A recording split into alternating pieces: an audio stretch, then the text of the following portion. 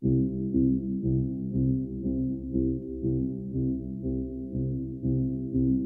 face à face.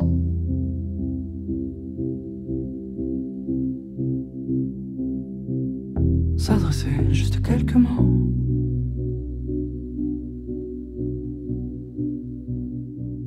Juste en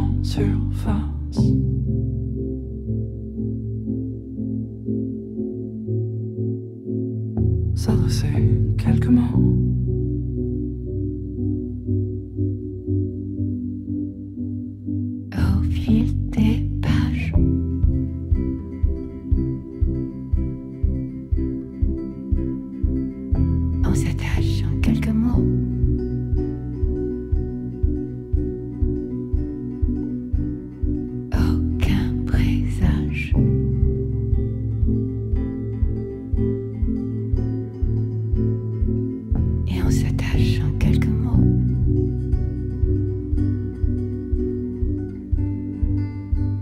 Si le temps.